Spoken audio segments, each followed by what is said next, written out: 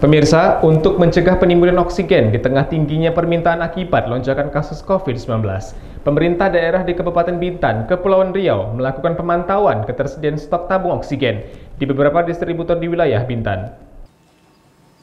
Pemerintah Kabupaten Bintan melalui Dinas Perindustrian dan Perdagangan di daerah itu memantau ketersediaan oksigen di sejumlah pangkalan.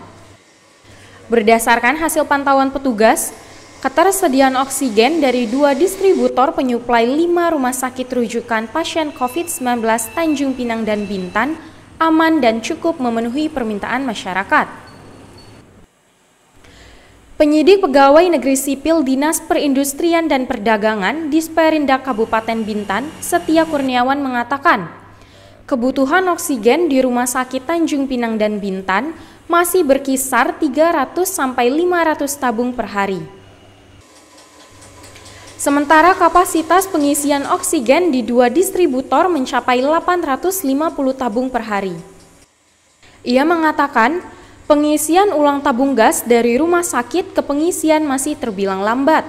Kapasitas kebutuhan mereka masih di bawah, jadi rata-rata kebutuhan dari seluruh rumah sakit ini sekitar kurang lebih 300 atau 400 per harinya, sementara produksi kita kalau terjadi kejadian luar biasa kita bisa maksimalkan sampai 850 ya seperti itu. Cuman kendala dari pihak pengisian ini mungkin itu akan kita antisipasi dan kita sampaikan ke Satgas nanti. Memang reload daripada tabung dari rumah sakit ke ke pengisian ini agak terlambat. Mungkin kapok mungkin terbatas daripada tenaga yang ada di rumah sakit itu. Tapi mudah-mudahan ini menjadi catatan kita untuk kita selesaikan.